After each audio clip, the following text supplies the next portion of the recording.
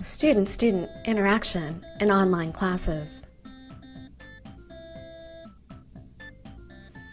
Students have a lot of methods they can use to interact online. We can think of these types of interactions in many ways. There's whole group interaction, pair or small group work, synchronous, happening in real time, or asynchronous contact. At different times.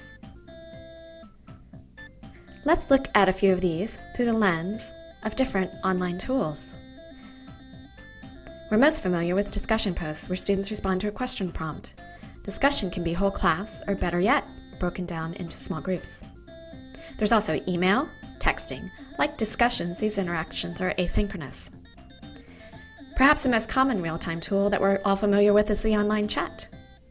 Students can also share content and comment asynchronously through blogs, wikis, online presentation apps like VoiceThread, SlideShare,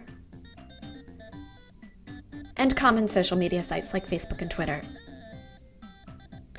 Collaborative documents let students interact in both real-time and asynchronously, providing alternatives for how best to complete assignments or engage in whole group brainstorming activities.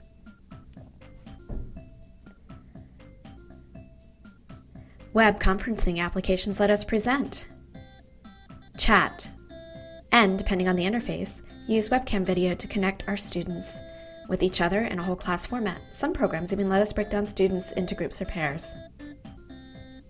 So to sum up, for student-student interaction, we need to decide a few things.